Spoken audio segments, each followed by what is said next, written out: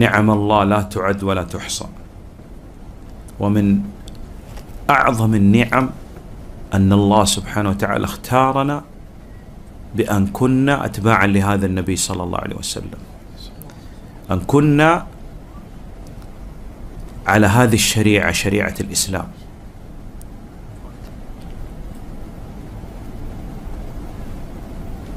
قد يعني البعض لا يشعر بهذه النعمة لأنه ولد مسلم أصلا.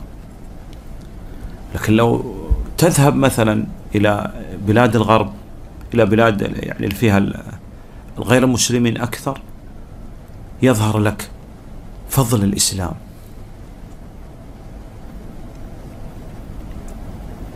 عندما رأى الصحابة رضوان الله عليهم رأوا الجاهلية ثم جاء النبي صلى الله عليه وسلم بهذا الإسلام عرفوا فضل الإسلام.